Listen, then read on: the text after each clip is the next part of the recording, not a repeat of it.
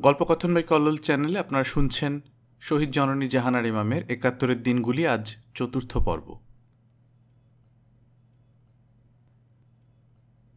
April দশ, উনিশশো একাত্তর, শনিবার।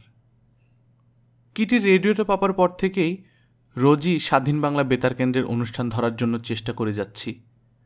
কতজনের কাছে শুনছি তারা ধরেছে, অনুষ্ঠান শুনেছে, আমরাই শুধু পাচ্ছি না। স্বাধীন বাংলা বেতারের বরাত দিয়ে আকাশবাণী যত খবর বলে, সব বিশ্বাস করতে মন সায় দেয় না। ওদের কিছু কিছু খবর ভুল প্রমাণিত হয়েছে। নীলিমা আপা, সুফি আপার মৃত্যু সংবাদটা ভুল ছিল। ঢাকার পতন, ক্যান্টনমেন্ট অবরোধ টিক্কা খানের মৃত্যু, সবকটা খবরই ভুল ছিল। টিক্কা খান বহাল তবিয়তে বেঁচে আছে। একের পর এক মার্শাল্লোর বাঁধন বেড়ি প্রচার করে যাচ্ছে। পঁচিশে মার্চের আগে যে chief justice BA Siddiqui Tikka খানকে গভর্নর হিসেবে শপথ করাতে রাজি হননি। সেই বিএ সিদ্দিকিকে দিয়েই গতকাল গভর্নর হিসেবে টিক্কা খানের শপথ গ্রহণ করানো হয়েছে। আজকের কাগজে দুজনের ছবি বেরিয়েছে। আজ সকালে খাবার টেবিলে সবাইকে বললাম, স্বাধীন বাংলা বেতার কেন্দ্র সত্যি সত্যি আছে না আকাশবাণীর বানানো মিথ? এটা তো বের করতেই হবে। সকাল ছয়টা থেকে এক একজন দু ঘণ্টা করে রেডিও নব ঘুরতে থাকবে। সারাদিন ধরে চলবে। জামি বলল এখন তো নটা বেজে গেছে। আমি ধমক দিয়ে বললাম, ঠাট্টা রাখো, নটা থেকে এগারোটা তোমার ডিউটি। ফোন বেজে উঠল, উঠে গিয়ে ধরলাম, Osman Gani sir, Dhaka teachers training কলেজের অধ্যক্ষ ছিলেন, এখন অবসরে আছেন। উনি বললেন, জাহানারা, রেডিও পাকিস্তান থেকে শিগগিরই তোমার কাছে লোক যাবে মনে হয়। আতকে উঠলাম, কেন স্যার? মার্শাল অথরিটি রেডিওর কর্তা ব্যক্তিদের হুকুম দিয়েছে যেখান থেকে যেমন করে পারো, পুরনো টকারদের এনে প্রোগ্রাম করাও। আমার কাছে এসেছিল। আপনি প্রোগ্রাম করেছেন, স্যার? না করে উপায় কি? বাড়িতে যখন রয়েছি, তোমাকেও যদি ফোনে বা বাড়িতে পেয়ে যায়, উনি কথা শেষ করলেন না। স্যারকে মনে মনে অসংখ্য ধন্যবাদ জানালাম।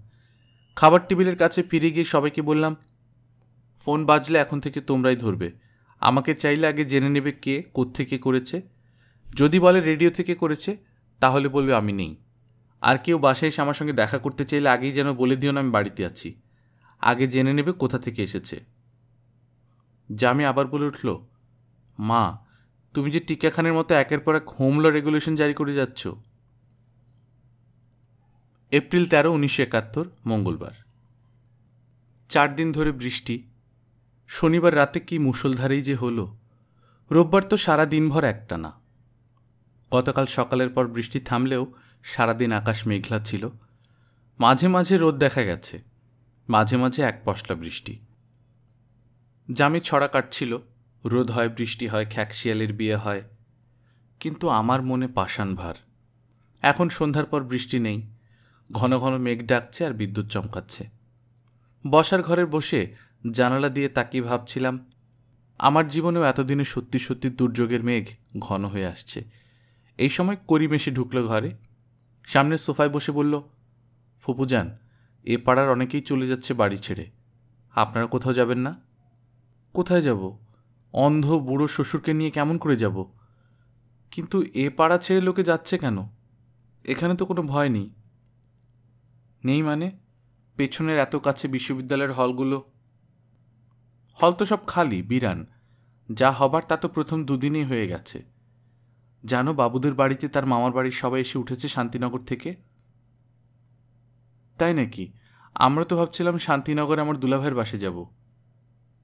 তাহলেই দেখো, ভয়টা আসলে মনে। শান্তিনগরের মানুষ এলিফেন্ট রোডে আসছে মিলিটারির হাত থেকে পালাতে, আবার তুমি এলিফেন্ট রোড থেকে শান্তিনগরে যেতে চাচ্ছ নিরাপত্তার কারণে।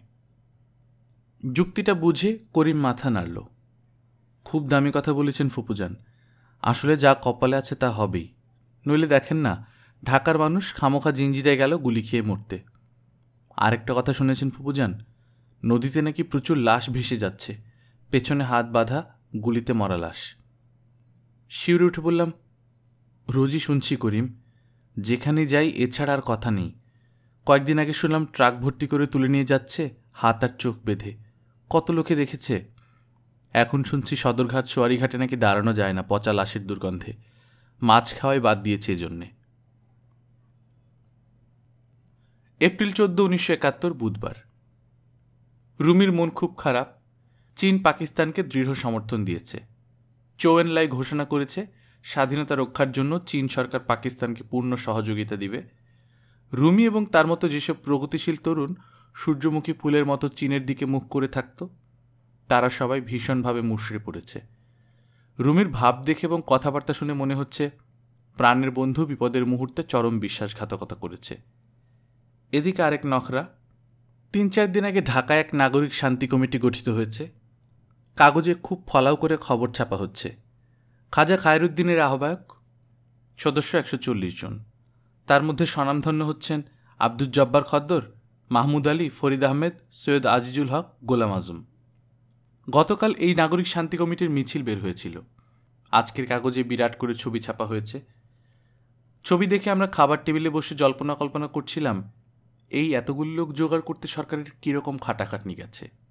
রুমি বলল, খুব বেশি যায়নি। মিরপুর মোহাম্মদপুরের বিহারিরা আর আহসান মঞ্জিলের বংশধররা। দুটো ডাকেই সবাইকে জড়ো করা গেছে। শরীফ বলল, তাছাড়া ছবিটার মধ্যে ক্যামেরার কারসাজি আছে বলে সন্দেহ হচ্ছে। ভালো করে তাকিয়ে দেখো। অনেক উঁচু থেকে এমন কায়দায় তোলা হয়েছে, দুশো লোককেও মনে হবে দু হাজার এপ্রিল পনেরো, উনিশশো একাত্তর, বৃহস্পতিবার। এত আটঘাট বেঁধে রেডিওর লোকের হাত এড়ানো গেল না। সেই উনিশশো পঞ্চাশ সাল থেকে রেডিওতে প্রোগ্রাম করি। সবাই আমার চেনা। তার মধ্যে নুরুন্নবী খান একটু বেশি। ওর বড় ভাই এহিয়া খানও রেডিওতে। বান্ধবী নূরজাহানের মামা বলে আমিও মামা ডাকি। সেই মামার ছোট ভাই নুরুন্নবী খান একদিন সকাল আটটায় চলে এলেন আমাদের বাসায়। খাবার টেবিল ছেড়ে উধাও হওয়ার সময়টুকুও পেলাম না। নুরুন্নবী খান ঘরে ঢুকলেন দুই হাত জোর করে। আমি কিছু বলার আগেই গড়গড় করে বলে গেলেন, সামরিক আইন কর্তারা ওদের পিছে বন্দুকের নল ঠেকিয়ে কাজ করাচ্ছেন। পুরনো সব বেতার শিল্পী, গানের, নাটকের, জীবন্তিকার, কথিকার, সব বিভাগের শিল্পীদের খুঁজে পেয়ে অনুষ্ঠান করাতে হবে। নুরুন্নবী খানের বিভাগ হলো কথিকা। উনি বললেন, বর্তমানে বিভিন্ন বিষয়ের উপর পাঁচ মিনিটের কথিকা প্রচার হচ্ছে।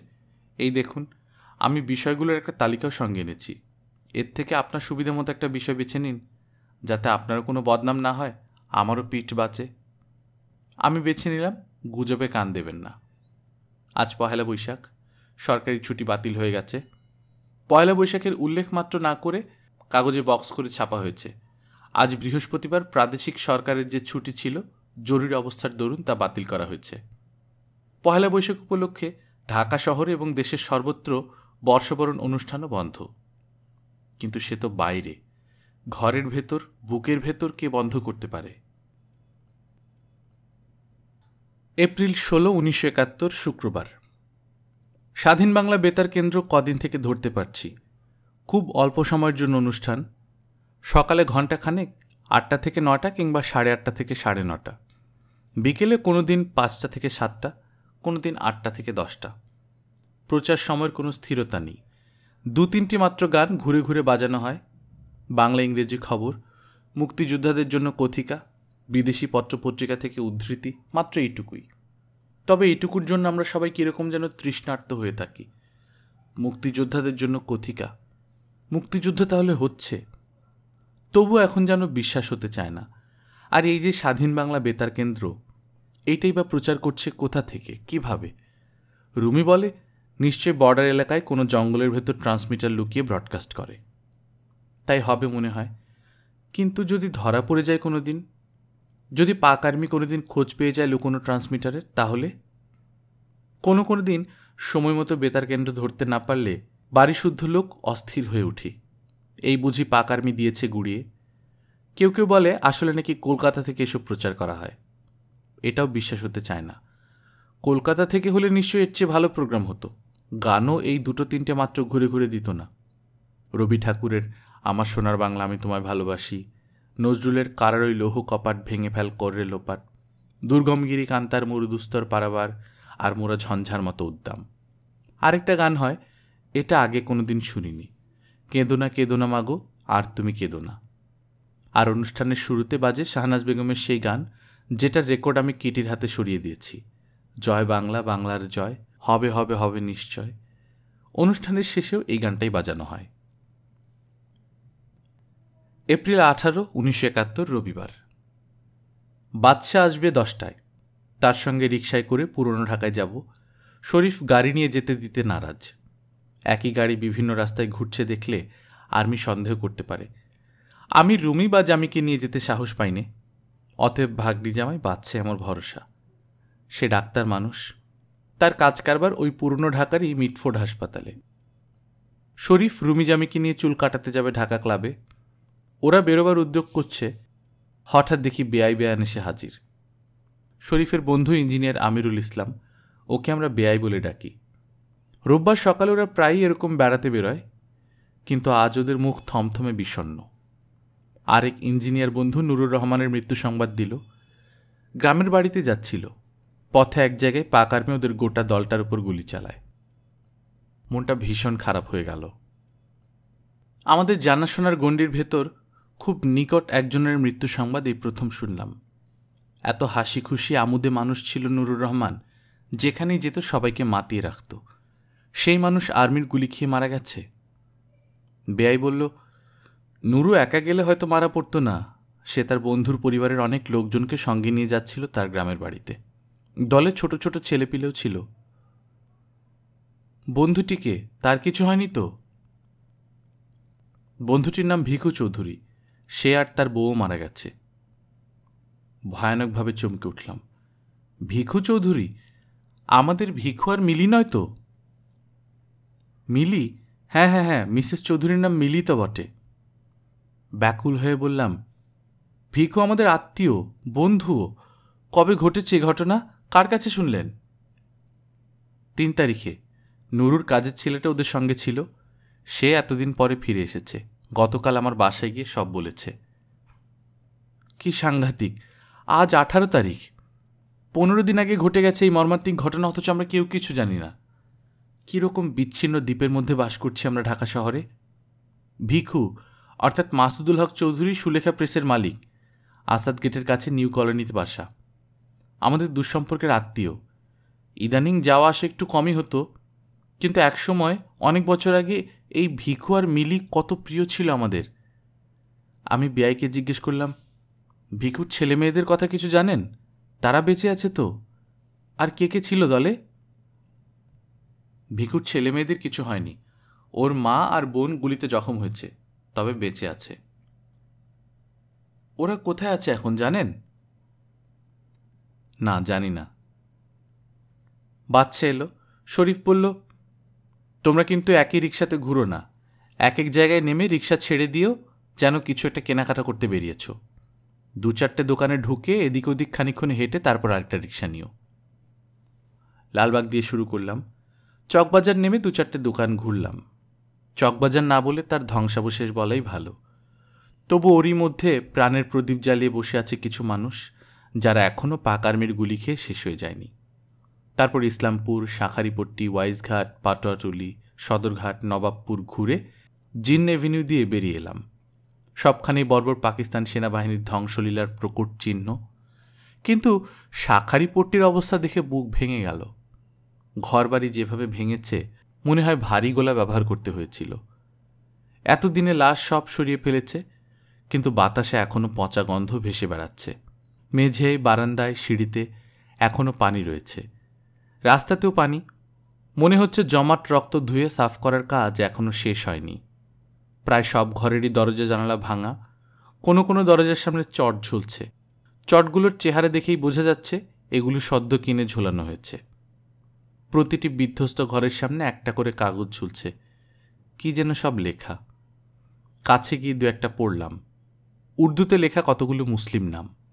শুনলাম বিহারিদের এ জায়গাটা ভাগ বাটোয়ারা করে দিয়ে দেওয়া হয়েছে। যারা পেয়েছে, তারা বরাদ্দকৃত ঘরের সামনে নিজ নিজ নাম লেখা কাগজ সেটে বা ঝুলিয়ে আপন মালিকানার স্বাক্ষর রেখে দিয়েছে। এপ্রিল একুশ, উনিশশো একাত্তর, বুধবার। রুমির সাথে কদিন খুব তর্ক বিতর্ক হচ্ছে।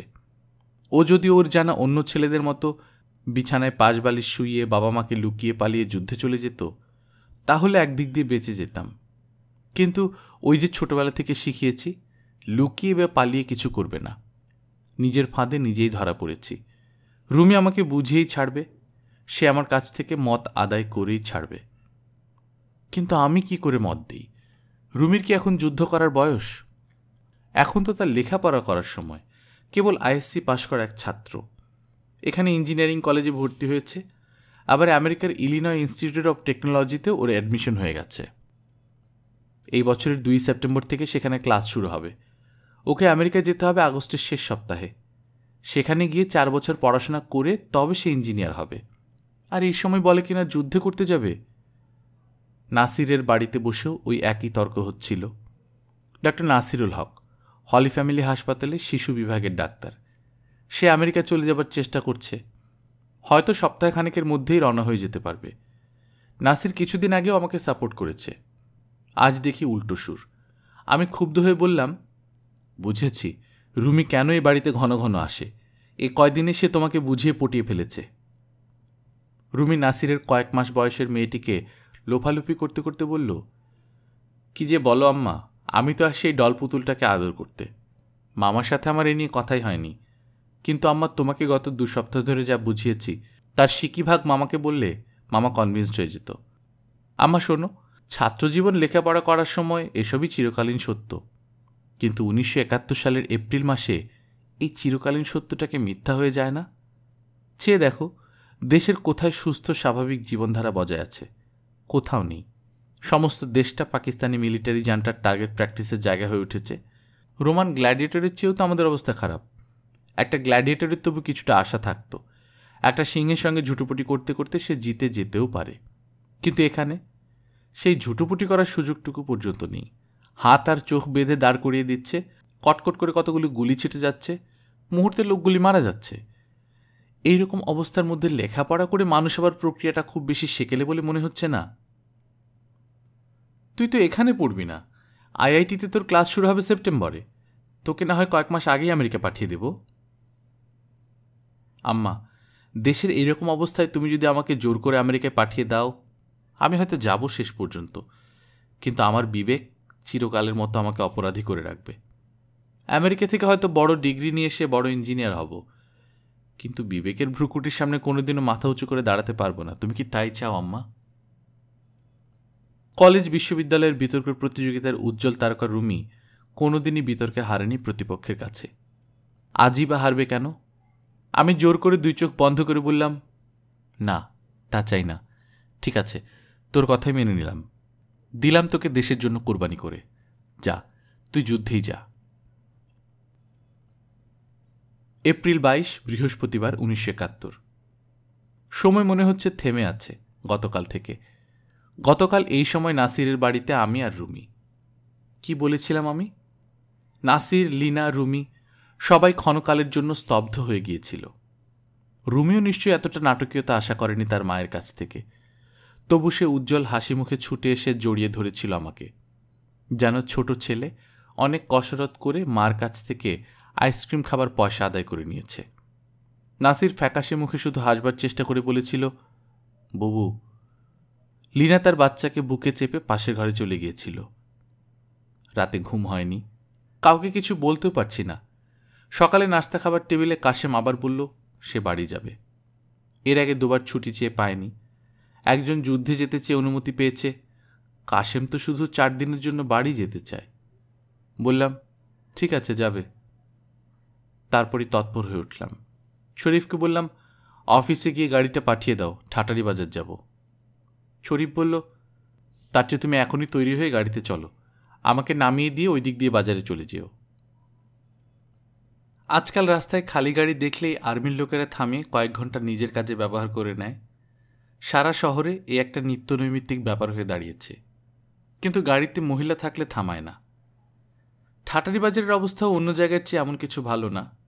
পঁচিশে মার্চের রাতে পুড়ে যাওয়ার পর এখানে ওখানে কিছু কিছু মেরামত করে বাজার বসছে। আমি ড্রাইভারকে বললাম, গাড়ি বন্ধ করে আমার সঙ্গে এসো। বাজারের পরিবেশ মোটেও ভালো লাগল না। দগ্ধ, বিধ্বস্ত বাজারের মাঝে মাঝে দোকানি লোকগুলো কেমন যেন অস্বাভাবিক, নির্বিকারভাবে বসে আছে।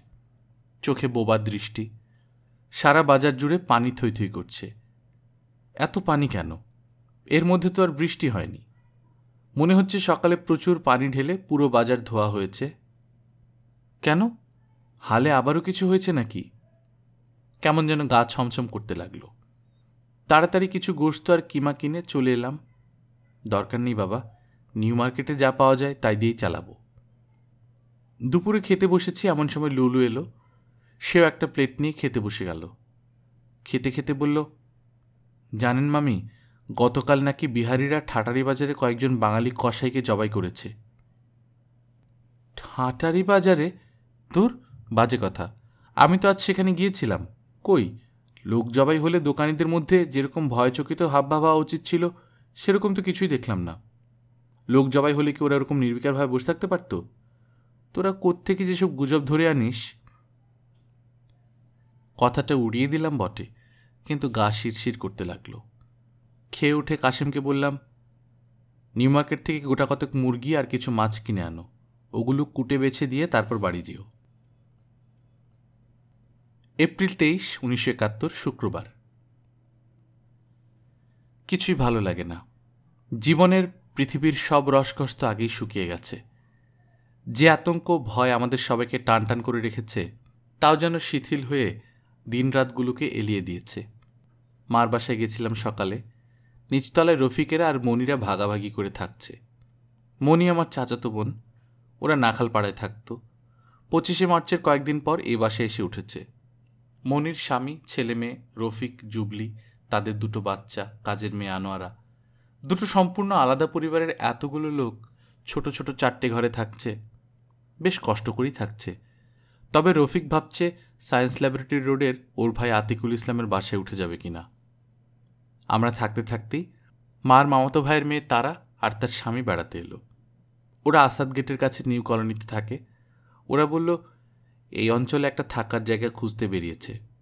কারণ ওদিকটায় বাঙালিদের থাকাটা ক্রমেই বিপজ্জনক হয়ে পড়েছে। মিরপুর মোহাম্মদপুরের বিহারিরা দিন দিন অত্যাচারী হয়ে উঠছে। সৈয়দপুর, পার্বতীপুর, রাজশাহী, চট্টগ্রাম বিভিন্ন জায়গাতে বাঙালিরা যে বিহারিদের মেরেছে, তার প্রতিবাদে তারা মিছিল বের করবে আগামীকাল। মোহাম্মদপুরের অনেক বাঙালি ইতিমধ্যে বাসা ছেড়ে শহরের অন্য অঞ্চলে আত্মীয়দের বাসায় চলে গেছে। আমি বললাম, বাঙালিরা বিহারিদের মেরেছে, তার প্রতিবাদে তারা মিছিল বের করবে? আর বিহারিরা যে বাঙালিদের কোচোকাটা করেছে, তার বেলায় কে প্রতিবাদ করে? গতকাল প্রচুর রান্নাবান্না করেছি। কাশেম মাত্র চার দিনের ছুটি নিয়ে গেছে। কিন্তু জানি, চার দিনের জায়গায় চোদ্দ দিন হয়ে যাওয়াটা মোটেও অসম্ভব নয়। আজ কোনো কাজ নেই। তাই কি এগারোটার সময় গরম পানিতে সাবান গুলে এতগুলো কাপড় ধুতে বসলাম? বড় বড় বেড কভারও। কিছু একটা কষ্টসাধ্য, ভারী কাজ করা দরকার।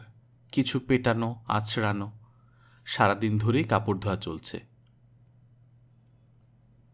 এপ্রিল চব্বিশ, উনিশশো একাত্তর, শনিবার।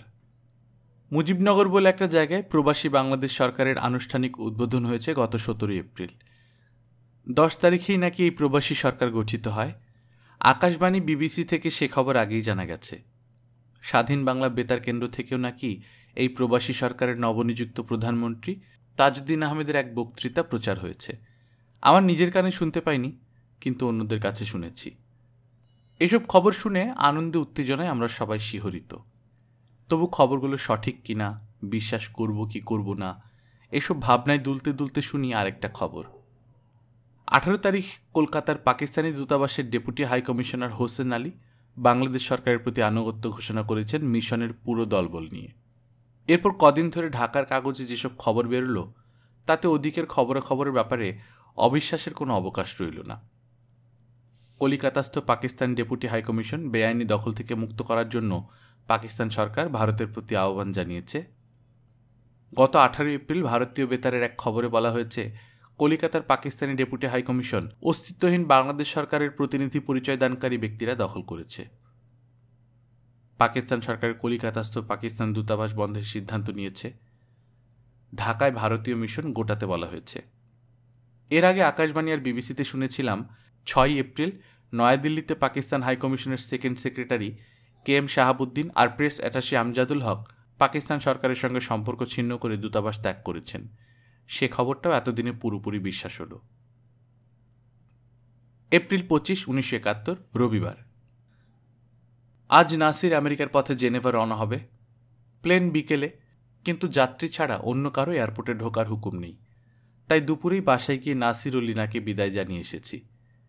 ঢাকা বিমানবন্দর এখন কড়া সিকিউরিটি। শুনেছি বিমানযাত্রীর গাড়িও এয়ারপোর্টের গেট পেরিয়ে ভেতরে যেতে পারে না। গেটের বাইরে রাস্তার উপর নেমে যেতে হয়। গেটের ভেতরে বাউন্ডারি ওয়াল ঘেরা জায়গাটা কম বড় নয়। আগে এখানে একসঙ্গে ষাট সত্তরটি গাড়ি পার্ক করা যেত। এতটা চৌহদ্দি মালপত্র সহ হেঁটে তারপর এয়ারপোর্ট বিল্ডিংয়ে ঢোকা, যাত্রীদের কষ্টের আর শেষ নেই।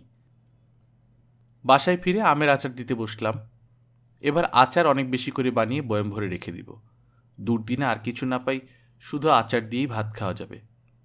নারিন্দা থেকে আতা ভাই এসেছিলেন খোঁজখবর নিতে। খোদা ভক্ত, পরহেজগার, সদাপ্রসন্ন মানুষ। কিন্তু ইসলামের নামে পাকিস্তানিরা যা করছে, তাতে তার প্রসন্নতা, শান্তি এবং ঘুম সব নষ্ট হয়ে গেছে।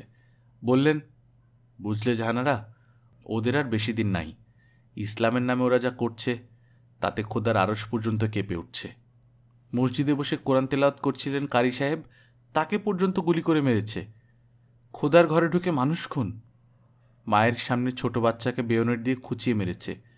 বয়প্রাপ্ত ছেলের সামনে মাকে বেইজত করেছে। ভেবেছে খোদাতালা সইবে না তো অনাচার। ওরা নিজেদের ধ্বংস নিজেরাই ডেকে আনছে। বিহারিরা শেষ পর্যন্ত তাদের মিছিল বের করতে পারেনি। সরকার পারমিশন দেয়নি। বাঁচা গেল। তবু গতকাল তারার মুখে শোনার পর থেকে রুমি জামিকে একা কোথাও বেরোতে দিচ্ছি না। এপ্রিল আঠাশ, উনিশশো একাত্তর, বুধবার। আজকের কাগজে একটা খবর দেখে চমকে উঠলাম। নিউ ইয়র্কে পাকিস্তানের দূতাবাসের ভাইস কনসাল মাহমুদ আলীকে সাসপেন্ড করা হয়েছে। বুঝলাম আরেকজন দেশপ্রেমিক বাঙালি পাকিস্তান সরকারের পক্ষ ত্যাগ করলেন। বাঙালি কূটনৈতিক বাংলাদেশ সরকারের আনুগত্য ঘোষণা করেছে। এটা খুশির খবর। তবে কিনা মাহমুদ আলী আমাদের আত্মীয়, নাত জামাই। ওর শ্বশুর আব্দুল খালেক শরীফের ভাগ্নে। এখন ডিস্ট্রিক্ট জজ হিসেবে সিলেটে রয়েছেন। পঁচিশে মার্চের পর রোটে ছিল পাক আর্মি ওদের সবাইকে গুলি করে মেরেছে। পরে খবর পাওয়া গেছে, খালেক বাবাজি আর লেবু বৌমা প্রাণে বেঁচে আছে। ওদের কাছাকাছি বাড়ির এক ইঞ্জিনিয়ারকে আর্মি গুলি করে মেরে ফেলার পর ওরা গ্রামে পালিয়ে যায়। মাহমুদ আলী ওদের জামাই। কি জানি মাহমুদ আলীর কারণে পাক আর্মি ওদের আবার কোনো অত্যাচার না করে। কলিম এসেছিল। ওরা সবাই এখনও নিজ নিজ বাড়িতেই আছে, প্রাণ হাতে করে। ওর কাছে শহরে মিলিটারিদের অব্যাহত তৎপরতার কথা আরও কিছু শুনলাম। ট্রাক ভর্তি, চোখ বাঁধা, হাত বাঁধা যুবকদের এখনও দেখা যাচ্ছে প্রায় প্রায়। কলিম আরও বলল, মিরপুর, মোহাম্মদপুরে মাঝে মাঝে ছুটকো ছাটকা গোলমাল হচ্ছে। কিছু ছুরি মারামারি, কিছু ঘরবাড়িতে আগুন দেয়া দেই। রঞ্জু এসে মজার খবর দিল। গ্রিন রোড যেখানে ময়মনসিংহ রোডে গিয়ে মিশেছে, সেখানে আজ বিকেল চারটার সময় শান্তি কমিটির অন্যতম সদস্য জনাব আব্দুল জব্বর খদ্দর বক্তৃতা দিচ্ছিলেন। শ্রোতা ছিল মাত্র তিনটি ট্রাফিক পুলিশ, একটি মিলিটারি পুলিশ আর একটি আর্মির জওয়ান। এপ্রিল উনত্রিশ এপ্রিল উনত্রিশ উনিশশো একাত্তর, বৃহস্পতিবার। নাসরিনের বাবা মুতাহার সাহেব আমাদের বহু বছরের পরিচিত। উনিশশো পঞ্চাশ সালে প্রথম যখন রেডিও প্রোগ্রাম করি উনি তখন ছিলেন প্রোগ্রাম অ্যাসিস্ট্যান্ট মাইকের সামনে কীভাবে থেমে দম নিয়ে পড়লে রিডিং পড়ার মতো শোনাবে না, কথা বলার মতোই শোনাবে, এই কায়দা উনি আমাকে প্রথম শিখিয়েছিলেন। পরবর্তীতে মোতাহার সাহেব তার এক বন্ধু আশরাফ আলী সাহেবের সঙ্গে মিলে খাওয়াতিন নামে যে মহিলাদের মাসিক পত্রিকা বের করেন, তাতে প্রথম দিকে আমাকে বেশ কিছুদিন সম্পাদিকার কাজ করতে হয়েছিল। তারপর বহুদিন ওর সঙ্গে যোগাযোগ ছিল না। আমাদের গলিতে ওর মেয়ে জামাই বাসা ভাড়া নিয়ে থাকে, তাও জানতাম না। হঠাৎ একদিন সকালে দেখি আমাদের বাসার সামনে মোতাহার সাহেব। কি ব্যাপার? উনি শ্যামলিতে থাকতেন। এই রকম সময়ে ওদিকে থাকা নিরাপদ নয়। তাই ওর জামাই সামাদ ওকে সপরিবারে নিজের বাসায় নিয়ে এসেছে।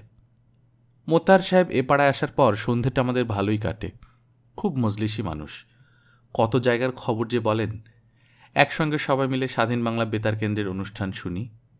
পূর্ব পাকিস্তান রেডিও এবং সংবাদপত্রের খবর, আকাশবাণী, বিবিসির খবর স্বাধীন বাংলা বেতারের খবর, এসব চালাচালি করে আসল খবর বের করার চেষ্টা করি। এ কাজে মোতাহার সাহেবের জুড়ি নেই, ওর ধৈর্য আর অধ্যাবসায়েরও শেষ নেই। মার বাসায় গিয়েছিলাম সকাল দশটায়, গিয়ে দেখি ওর জ্বর। রুমি সঙ্গে ছিল, ওকে দিয়ে রুটি আনিয়ে মার কাছে খানিক বসে বারোটার দিকে বাড়ি ফিরে দেখি মোতার সাহেব আমাদের বসার ঘরে বসে কোথায় যেন ফোন করছেন। ওর চুল উস্কো খুস্কো, মুখে উদ্বেগের ছাপ। কি ব্যাপার? ওর জামাই সামাদের বড় ভাই আজ ভোরের কোচে পাবনা রওনা দিয়েছিল। খানিক্ষণ আগে উনি লোকমুখে খবর শুনেছেন, মিরপুরের বিহারিরা নাকি মোহাম্মদপুরের বাঙালিদের মেরে ধরে শেষ করে দিচ্ছে। ও পথে যত বাস, কোচ যাচ্ছে সেগুলোকে থামিয়ে যাত্রীদের মেরে ফেলছে। পাবনার কোচ তো আরিচার পথে মোহাম্মদপুর, মিরপুরের উপর দিয়েই যাবে। মারামারির খবর শোনার পর থেকেই উনি ফোন করছেন কমলাপুর কোচ স্টেশনে। রিং বেজে যাচ্ছে, কিন্তু কোচ স্টেশনে কেউ ফোন তুলছে না। খবর শুনে আমারও বুক ধরফর করতে শুরু করল। আমাকে বাসায় নামিয়ে রুমি আবার বেরোবার উদ্যোগ করছিল। এই খবর শোনার পর রুমিকে আর বেরোতে দিলাম না। শরীফকে তার ইঞ্জিনিয়ার্স লিমিটেডের অফিসে ফোন করে খবরটা জানিয়ে তাড়াতাড়ি বাড়ি ফিরতে বললাম। মোতাহার সাহেব খানিক্ষণ পরপরই এসে কোচ স্টেশনে ফোন করার জন্য ডায়াল করতে লাগলেন। রিং হয়, ফোন বেজেই যায়, কেউ ধরে না। শেষে দুটোর দিকে মোতাহার সাহেব বললেন, তিনি নিজেই কমলাপুর কোচ স্টেশনে যাবেন খবর নিতে। উনি সামাদের ছোট ভাইকে নিয়ে কমলাপুর উদ্দেশ্যে রওনা হয়ে গেলেন। আমরা কয়েকজন বাড়িতে স্থির হয়ে বসতে পারছিলাম না। বাড়ির সামনে গলিতে দাঁড়িয়ে হোসেন সাহেব, রশিদ সাহেব, আহাদ সাহেব এদের সঙ্গে কথা বলে সময় কাটাতে লাগলাম। ঘণ্টা দুয়েক পর মোতাহার সাহেব বিস্তারিত খবর নিয়ে ফিরলেন। কোচের ড্রাইভার আড়াইটের দিকে কমলাপুর কোচ স্টেশনে ফিরলে তার মুখে সব খবর জানা যায়। মিরপুর ব্রিজের কাছে বিহারিরা ওদের কোচ এবং অন্য একটা ছোট বাস থামিয়ে বড় রাস্তা থেকে একটু ভেতরে নিয়ে যায়, তারপর সব যাত্রীকে নামায়। যাত্রীদের ভয়ার্ত চিৎকার, বিহারীদের রণহংকার ইত্যাকার হইচই গোলমালের সুযোগ নিয়ে পাবনাগামী কোচের ড্রাইভারটি বাসের তলায় লুকিয়ে পড়ে এবং সেখান থেকে পুরো হত্যাযজ্ঞটি প্রত্যক্ষ করে। বিহারীরা যাত্রীদের নামিয়ে ধারালো দা, বড় চাকু এসব দিয়ে মারতে থাকে। বাসে দুজন যাত্রী ছিল, তারা কেবল মক্কা থেকে হজ করে দেশে ফিরেছে। বিহারিরা কেবল ওই হাজি দুজনকে ছেড়ে দেয়, বাকি সবাইকে মেরে ফেলেছে। কয়েকজনকে তারা ছুরি মেরে ব্রিজের উপর থেকে নিচে নদীতে ফেলে দিয়েছে। ড্রাইভার তাও দেখেছে। মিনি বাসটাকে বিহারিরা ভেতরের রাস্তায় আরও খানিক দূর নিয়ে গিয়েছিল। বড় রাস্তার মোড়ে কোচের যাত্রীদের শেষ করে লাশগুলো ওখানেই ফেলে রেখে উল্লাসে উন্মত্ত বিহারিরা ওই মিনি বাসটার দিকে চলে যায়। তখন ড্রাইভার কোনো মতে যান নিয়ে পালিয়ে কমলাপুর কোচ স্টেশনে চলে গিয়ে সবাইকে এই খবর দেয়।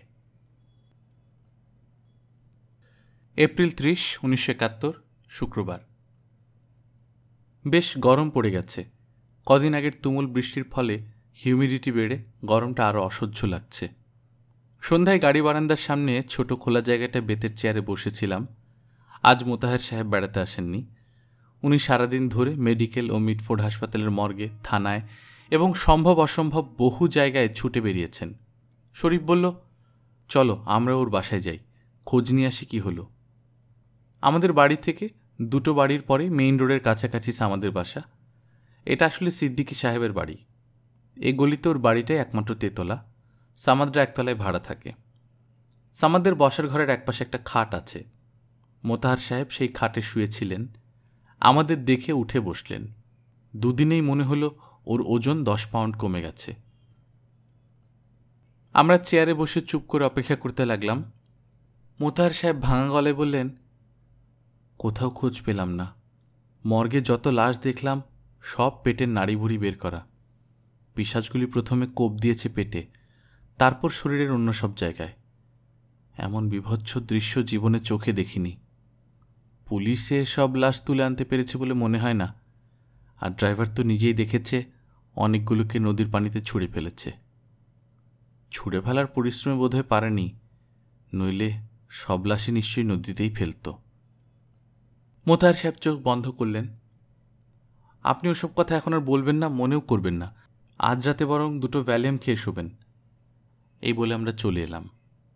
সে রাতে ভ্যালিয়াম আমাদেরও খেতে হলো। তা সত্ত্বেও ঘুম এলো না। মাঝে মাঝেই তন্দ্রার মধ্যে চমকে চমকে উঠতে লাগলাম। পয়লা মে উনিশশো একাত্তর, শনিবার। চোখ বাঁধা, হাত বাঁধা লোকজনকে ট্রাকে উঠিয়ে নিয়ে যাওয়া নদীতে চোখ হাত বাঁধা বুলেট বিদ্ধ লাশ ভেসে যাওয়া, এইসব খবরের পাশাপাশি আরেকটা রক্ত হিম করা খবরও মাঝে মাঝে শুনছিলাম। দু একজনের কাছে অবিশ্বাস্যভাবে, অল্প অল্প শুনতে শুনতে এখন সে খবরটাই সবার মুখে ছড়াতে ছড়াতে সারা শহরময় কালবৈশাখীর ঝড়ের মতো হয়ে উঠেছে। পাকিস্তানি আর্মি যুবা ও বয়স্ক লোকেদের ধরে নিয়ে এখন আর গুলি করে মেরে ফেলছে না।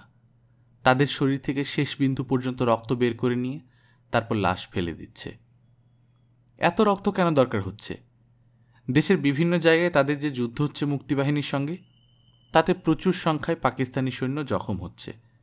তাদের চিকিৎসার জন্য প্রচুর রক্ত দরকার। এত রক্ত ব্লাড ব্যাংকে নেই, তাই এভাবেই তারা রক্ত সংগ্রহ করছে।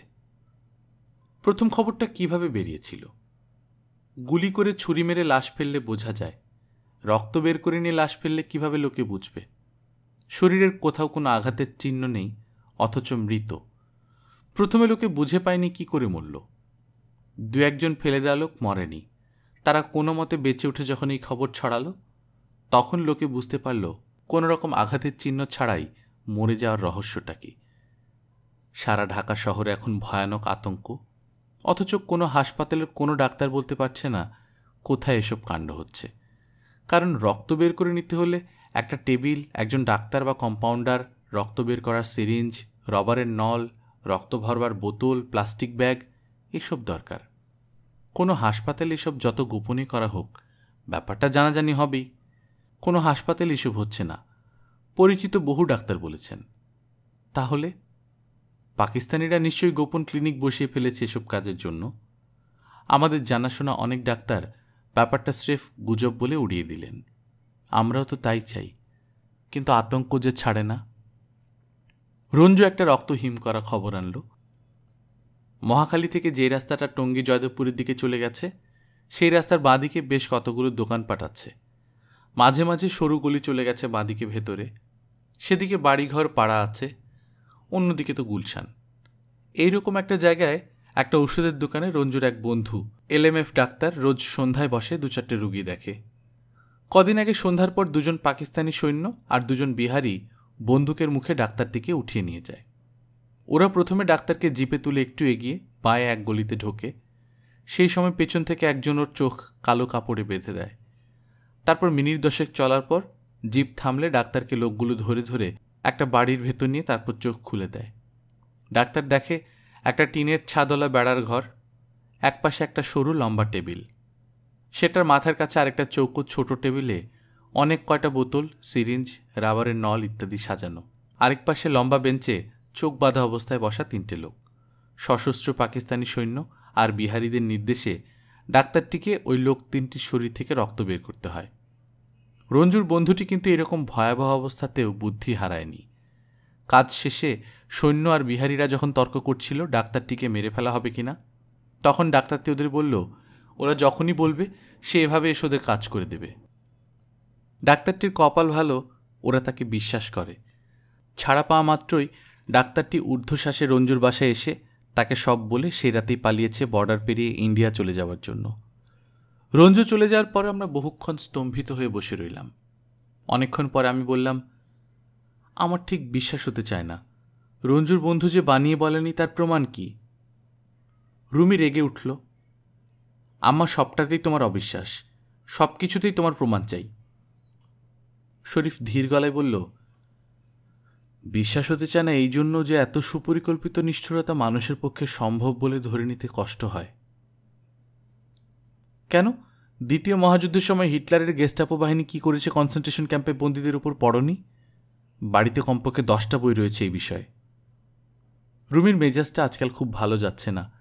এখনও ও যুদ্ধে যেতে পারেনি। সঠিক যোগাযোগের লোক পাচ্ছে না। প্রায় প্রায় গজগজ করে। প্রথম চোটে আমার যেসব বন্ধুরা গেছে, তাদের সঙ্গে গেলে কত সহজে বর্ডার ক্রস করতে পারতাম। তখন নিরাপদও ছিল বর্ডার ঘেঁষে বহু জায়গা মুক্ত ছিল। এখন তো পাকিস্তানি সৈন্য বেশিরভাগ জায়গায় আবার দখল করে নিয়েছে। এখন যাতায়াতের রাস্তায় বিপদ অনেক বেড়ে গেছে। আমি চুপ করে থাকি। এখন যেন মনে হয়, আগে যেতে দিলেই হতো।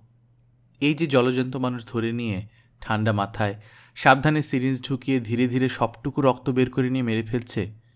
এইরকম আতঙ্কময় রটনার মাঝে রুমির মতো তাগড়া ছেলে নিয়ে বসবাস করতে দম আটকে আসে। রাতে দুঃস্বপ্ন দেখে বিছানায় উঠে বসে থাকি। মে দুই, উনিশশো একাত্তর রবিবার। ধানমন্ডি তেরো নম্বর রোডে মকু, অর্থাৎ মাহবুবুল হক চৌধুরীর বাড়ি। ভিখু চৌধুরীর বড় ভাই। পূর্ব পাকিস্তান সরকারের প্রাক্তন ল সেক্রেটারি ভিখুর বোন, মা ও মেয়েরা করটিয়া থেকে ফিরে এসেছে কয়েকদিন হলো। দেখা করতে গেলাম ওদের সঙ্গে। বজ্রাহতের মতো বসে আছে সবাই। কেবল খালাম্মা, অর্থাৎ ভিখুর মা কথা বলছেন। মাঝে মাঝে কাঁদছেন। ভিখুর বোন বুলু, অর্থাৎ মাসুদার স্বামী শরফুল আলম, পোল্যান্ডে পাকিস্তানি দূতাবাসে রয়েছেন। বুলু ছুটিতে দেশে বেড়াতে এসে এই কাণ্ড। তার ডান কাঁধের নিচে গুলি লেগেছিল। ভিখুর মার মুখে পুরো ঘটনা শুনলাম। ওদের বিরাট একটা দল ঢাকা থেকে গ্রামের দিকে যাচ্ছিল। করটিয়ায় জাহাঙ্গীর, ইঞ্জিনিয়ার নুরুর রহমানের ডাকনাম। ওর ফুপার বাড়িতে আশ্রয় নেবার পর এই দুর্ঘটনা ঘটে। সকালবেলা নাস্তা তৈরি হচ্ছিল। ঘুম থেকে উঠে সবাই হাত মুখ ধুচ্ছিল। এমন সময় পাকারমি এসে সে বাড়ি ঘেরাও করে গুলি চালাতে থাকে। ভিখুর মা ব্যাপারটা বুঝে ওঠার আগেই দেখেন, গুলিবুদ্ধ ছেলে ও পুত্রবধূর দেহ বাড়ির পুকুর পাড়ে। মিলির পা দুটো পুকুরের পানিতে, মাথা পুকুরের পাড়ে। গুলি লাগে তার তলপেটে, বুলুর কাঁধের নিচে। জাহাঙ্গীরের ফুপা ঘরের মধ্যে ছিলেন, তিনি সেখানেই গুলি খেয়ে ঢলে পড়েন। গুলি খেয়ে ঢলে পড়ে জাহাঙ্গীর, আর অনেকে মারা পড়ে। বাকিরা চিৎকার করে দৌড়ে পালাতে থাকে। আর্মি খানিক্ষণ গুলি চালিয়ে মেরে ধরে চলে যায়। ভিখুর মা তলপেটে গুলিবিদ্ধ অবস্থায় ভিখুর মেয়ে দুটিকে খোঁজ করতে গিয়ে দেখেন, পাঁচ বছরের ছোট মেয়ে ইয়েন ভয়ে কাঁদতে কাঁদতে ছুটে চলে যাচ্ছে অন্য কতগুলো লোকের পেছন পেছন। ভিখুরমা ওইরকম আহত অবস্থাতেই তলপেট চেপে ধরে অন্য হাতে নাতনিকে টেনে আনেন।